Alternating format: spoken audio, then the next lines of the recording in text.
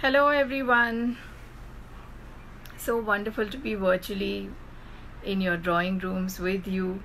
Thank you, Ashwini and Kitabkhana Books, for putting this together. So nice to be connecting to all the poets virtually, if not physically, which is not possible right now.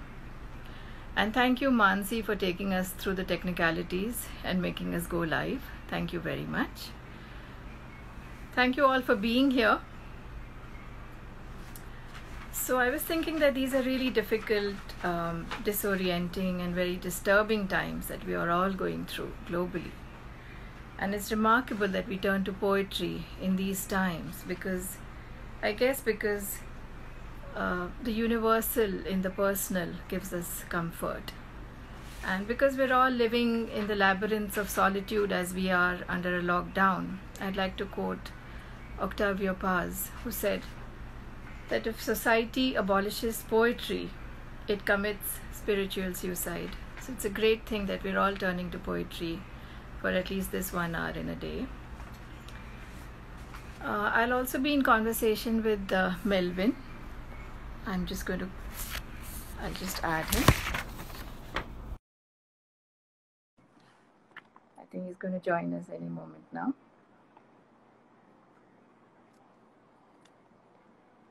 Yes, Melvyn. Hello. How are you, Melvyn? Yes, Vinita. Yes, you you? can carry on. Yeah, carry on reading your poem. Okay, I think I will read one of my poems and then uh, I will just uh, engage with you conversation. Yeah, yeah, yeah carry on. All right. So uh, the first poem that I chose to read here is on solitude. It's on um, Okay. Because it's so relevant for all of us right now. It's titled Blue, and it's from my book Two Full Moons.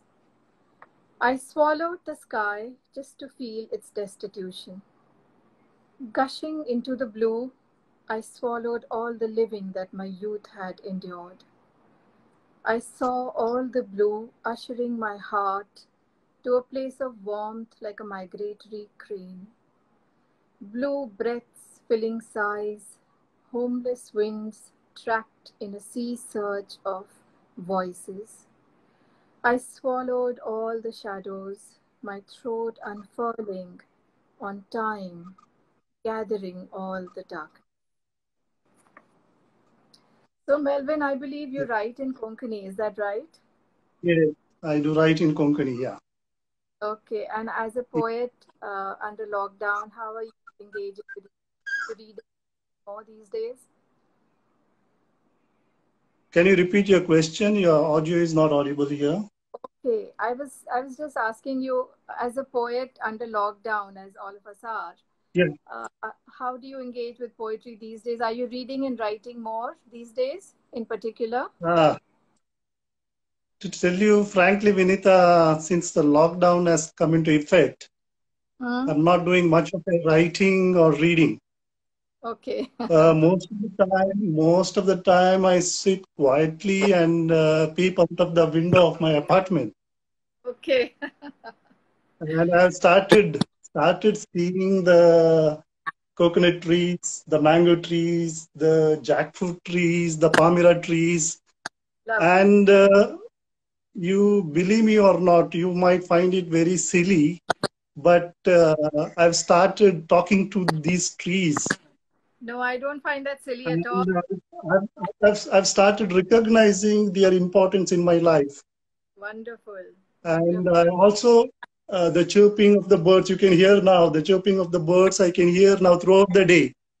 Right. Absolutely. Because there's so much silence. Uh, I think I think this uh, lockdown has uh, given us a kind of opportunity to go on a voyage to a different space altogether, which you have not dreamt before. Yes.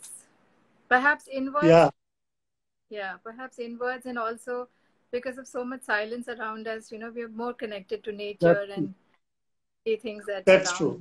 Yeah, Yes. yeah, yeah. Would you like to read one of your poems now? Yeah, yeah. I, I'm going to read one of my poems titled as Kai Bhev. Kai Bhev means uh, neem tree. Okay. In uh, probably the, the word Kai Bhev has come from the Kannada word Kahi Bevu, In Marathi, you say Kudu, Kudunimbu or uh, Kadulimbu. In Marathi, you say. And Right. uh, if you visit Dubai, you come across thousands of neem trees lining up uh, on the both sides of the streets. And uh, this poem is about a street called Karama, where I lived for 14 years. Okay. And uh, this poem talks about talks about this uh, neem tree, their beauty and their bitterness as well, and why we need to accept that bitterness to make our lives beautiful. so I'm going to read my poem. Yeah. Kaibeu. Karamant kampan campo kaibewache ruku dek tampana mujamana tamta mungu buku. इंग्लंडाचे Rane माथ्यार आदल्या शेकड्याचे पें दिसत एकल्याक कोण दुसऱ्याक अंतरळांतले तुपें वाऱ्या तारवार बसून चोयल्यार पांचवी साथी दिसतीत. सावळेक पोंदल्यान चलोवन गेल्यार दुखी लेगून पळटीत. म्हाका मात्र चोयता चोयता फुलोवन येता वोड. पानां खणा फकत दिसता. तुजी मोल लाग मोड. पानां पाना नासचें दिसताय कळना संगीत खंयचें? आमचा कोण्णा वाऱ्या शिरां तुका मात्र कळचें. देखून देखून जाता पिसो थोडे फावटी सोगणें. धन्नी तुवें केल्ल्या पानाक करूंक पाखां माकणें. जाणा हांव जाणा हांव कांय बेव खोडू? शमन करता व्याधी इल्लें खोडू तुंय देखून. Zalomo shadi. That's my poem, yeah. Taibeo. Thank you. At the, at the, yeah, yeah. I'm afraid I don't understand Konkani, but I, if you just uh, uh, observed me nodding my head, it was because I was enjoying the cadence and the joy with which okay. you were reading. And I'm sure okay. the I of the poem, I'm sure I'll enjoy the words as well. So, um, I was thinking that this entire, you know, this whole phase of solitude and isolation and social distancing Mm. has made us slightly more philosophical, and we tend to uh, think more deeply about life, I guess. So that's why I chose to read this poem. It's titled "Water is a Lesson." Okay. It's also about intense uh, solitariness and intense solitude. For years, I watched the river, its opposite banks like pages of an open book, never closing. Watched the lone fisherman, alone and midstream, plagued with hunger until the next catch, the shallow wooden boat owning his life. If there exists a constellation of pain in my veins, then it's the one that shimmers like light on water. Here now, gone the next. Gripping darkness by the feet in murky depths, angling for the warmth of sunlight every time breeze ruffles scars.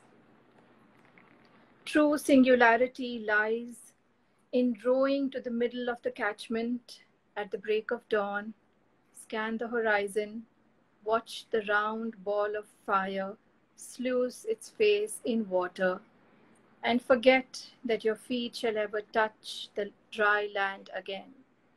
Know that the Hmm. hazy banks of a damp boat are all the ground you have. Yeah, yeah.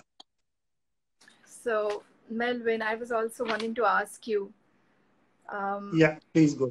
Basic question as to what inspires you to write poetry. Could you could you lead us through the inspiration that drives you to write poetry? It, it, it seems very simple as well as difficult question. Uh, when I see or listen to something which really disturbs me, a kind of pressure builds up within me. And in order to free myself from that pressure, I write poetry. Yeah. So pressure can be seen uh, from positive things also. So So, in a word, in, in a word, poetry is something which gives me freedom. Can be it can be called as moksha also. oh wow. Yeah. Yeah. It, it poetry also gives us wings to fly across the borders. Yes. Yeah. And Absolutely. And the way you've connected with nature, and I think you live in a very uh, beautiful place of uh, of our country. There you can see, you can have a glance here. Excellent. Wonderful. Yes, Yeah. I can. Yeah. The lush and green. Yes, yes. May I request you to read another of your poems, please? Yeah, this uh, this my second poem is uh, the title of the poem is Marshasa Magne. Uh, that is a prayer of Marshas. The Marshas is a Greek uh, mythological figure who loses his life in a musical battle with Apollo. Uh, Apollo defeats him by adding his voice to the sound of a lyre he plays. In my poem, Marshas represents all the talented but unfortunate people who never get a stage in front of the mighty and the financial strong people. So I'm going to read that poem, Prayer of Marshas. Okay. Pirluk kedin pirluk urana, जर ऊस वासतांतल्यान वळाना उरल्यार फकत वाशाचो कुडको जिवीत किंची फुलाना. मोर लोक आसता फुंकू कशें? पिरलोक म्हजी कळाना. सासरा आदीं चिड्डून गेल्लो. उस्वास गळ्यांत वळाना. हांव मार्शास हांव मार्शास आपोलोच्या पोंताक हरवून मेलोलो. संवसाराच्या वाशा कुडक्यांक सदा निराश केलोलो. कृष्ण देवा फुंक रे मुरली. cunosc Tana, Washantle-gon walungane, dulong dubli lana. Dulong dubli lana. That's the poem, Prayer of Marchas. Okay. Well, I definitely got the word. Right. And also, I was thinking that um, we're all grappling for perspectives in this very rare kind of position that we find ourselves in. And we're trying to uh, gain a perspective on what's happening and what we should do with it and what's the way forward. And it takes me Mm. to my a very short 10 line poem that I wrote also when I was uh, in deep sorrow after I lost my father. And I was also grappling for perspectives. So I'm going to share that with you. It's called Mm. Gift. Mhm. It is a gentle shape, this white moon my father gave me the night he passed away. It hangs under the window every night, a farewell gift. Leaves the skies quietly at dawn to slide into my throat all day. Some nights it returns, chipped, halved, sliced, imitating life, scarred like the face of pain, but always there, like a presence that's never left. So that Wow, was one wow. short poem. Wow. Thank you. Mhm. Thank you. Thank you very much. Yeah, it's beautiful. Yeah. Do you also think that poetry offers comfort in a time of crisis? Like you yourself said that when there are pressing issues, when your mind is is grappling with issues and and and uh, Yeah. feeling pressure of certain situations, you turn to poetry. Do you believe? Do you believe that? Um, do you believe that poetry offers us comfort as a as a poet? Yes, we tend to write in time in such times because it gives Mm. us a sense of ease and self-expression. But do you think, as a reader, poetry offers comfort? Uh, now, what exactly crisis is? Crisis always triggers fear, right? And uh, it brings along with it a kind of threat to human life. So when there is a crisis, so we, as a normal human beings, try to find out ways to come out of this fear and the threat to human life. But during these difficult times of lockdown and uh, curfew, uh, we have limited means and uh, we cannot go out of the house also.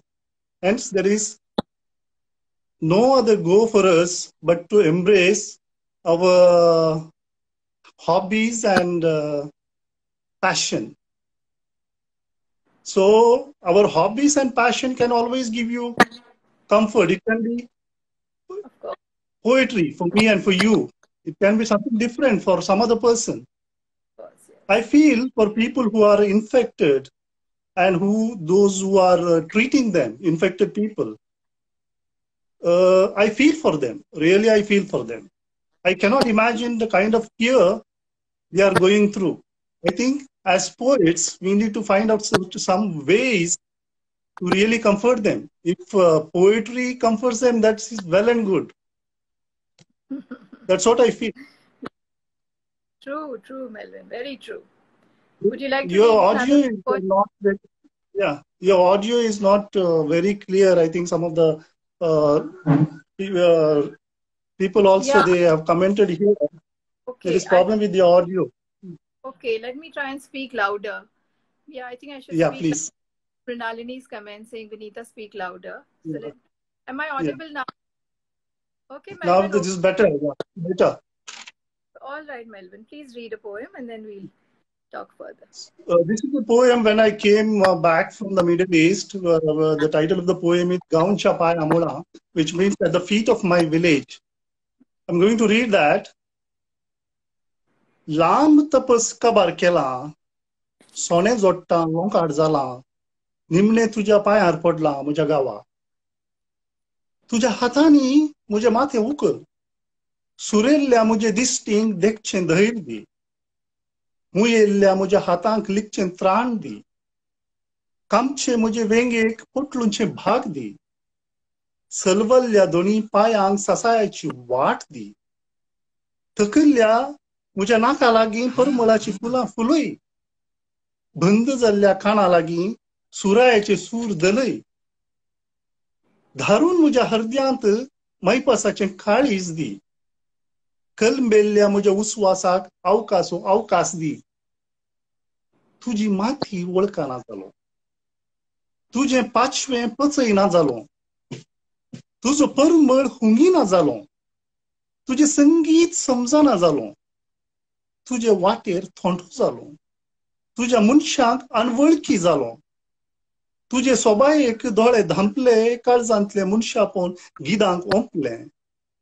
आता तुझेच लागीं पावलां लांब तपस काबार केला मस्तक तुझ्या पायार दिला गावा म्हज्या गावा म्हज्या Yeah, that's it, uh, Vinita. That's it. Yeah. What What were the last two lines? Could you translate the last two lines that you just read out? No, at last I, I could uh, because I was in the Middle East for so many years, 14 years, and I the uh, I had gone there to earn uh, kind of kind of gold. You mean to make my life better? But in the process of making my life better, I became iron ore. That's what this uh, poem says. And uh, I, I now I've come back to you, oh my village, oh my play, oh, मेरा गांव के बारे में गांव से मैं बताता हूँ कि अभी I have come back to you now. I have finished my tapasya for 14 years. now I've given, um, kept my mustak, my head on your feet. Yeah. And that's what I'm praying. Yeah. Okay. Lovely, lovely. Yeah. Okay. So, um, why can't you read one of your poems? Yeah. Okay. Let me read one of my poems. Hmm. Short poem. This one's titled Sea yeah. of Time. Sea of Time also dedicated to this period of isolation, as it were. Okay. Yeah. In the mornings, I am nameless, faceless, a patchwork of bits of yesterday, appliqued to a floating tomorrow.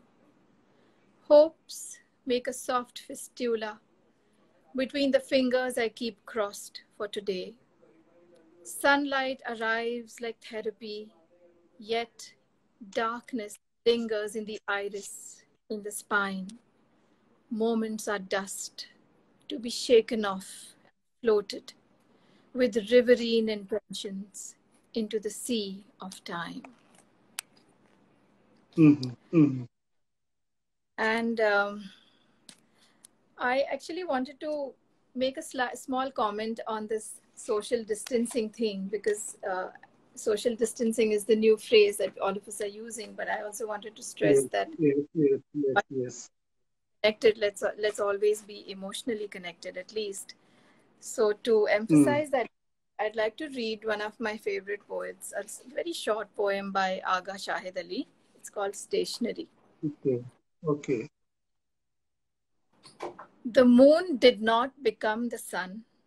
It just fell on the desert in great sheets reams of silver handmade by you the night is your cottage industry now the day is your brisk emporium The world is Hmm. full of paper.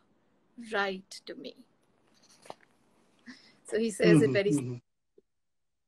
it's like a message of staying connected if you look at it that way. Would you like to read another poem, Melvyn? So, uh, oh, one of my friend uh, William Pice has uh, translated one of my Konkani poems into English. I think uh, I will read that uh, last Okay. poem.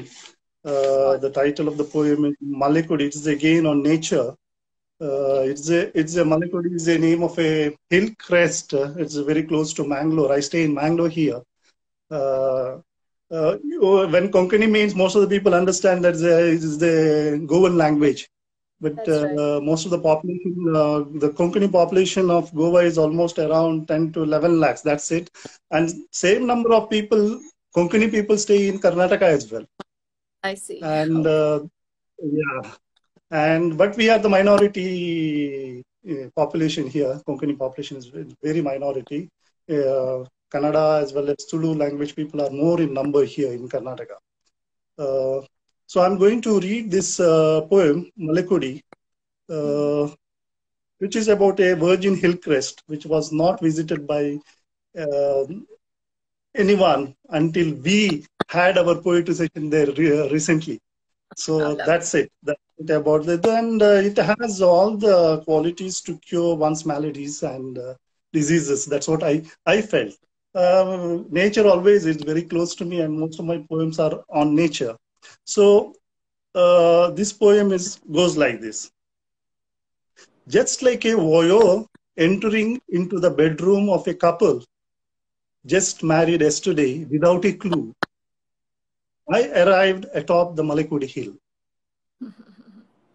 In the quietness of hilltop, as the rays of setting sun cuddle with the leaves, waves in faraway Netravati river get charged with high tides of envy.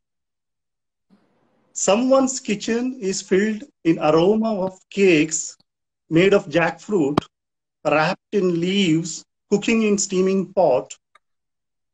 This aroma wafts the air. These leaves, even when on tree, infuse energy in exhausted hearts. In the gentle breeze of the twilight, even the tattered bark about to fall are filled with vigor of a 16 year old. As the moonlight breaks on the horizon, the dry earth renders twinkling of anklets, and the last remains of dry grass dance in gay abandon. Oh, my Malekudi, my heart yearns for you. Oh, my Malekudi, let us keep our sojourn every moment. Oh, my dear Malekudi, hold me for a moment. Oh, my dear Malekudi, put an end to my maladies. Thank you, Vinita. Thank you, Melvyn. Yeah. I think we'll end Yeah. now. I would just before we end, I'd like to read I need to thank Ashwani also, Ashwani and uh, Mansi and Kitab Khana also. And many of my friends from Dubai and uh, all other places are uh, watching this. I thank them as well. Yeah. Great. So there's this poem by Jane Hirschfield titled "What for What Binds Us," and I'd like to read it as a parting note Yeah. Please, please, please. Yeah. because it just proves that all of us are one, no matter where we are and what we are doing and what we are faced with. It's just that all of us are one. There Okay. are names. There are names for what binds us: strong forces, weak forces. Look around. You can see them. The skin that forms a half-empty cup, nails rusting into the places they join, joints dovetailed on their own weight, the way things stay so solidly wherever they've been set down, and gravity, scientists say, is weak. And see how the flesh grows back across a wound with a great with great vehemence, more strong than the simple untested surface before. There's a name for it on horses when it comes back darker and raised, proud flesh. As all flesh is proud of its wounds, wears them as honors given out after battle, small triumphs pinned to the chest. And when two people have loved each other, see how it is like a scar between their bodies, stronger, darker, and proud. How the black cord makes of them a single fabric that nothing can tear or mend. So it's been wonderful to do this with you, Melvyn. Thank you once again, Ashwini. Thank you. Thank yeah. you, Thank you. Khan Books, and thank you so much, Mansi. Thank you, everyone, Yeah. for being Thank you, everyone. Yeah. Stay safe, stay well. Bye-bye. Bye. Bye.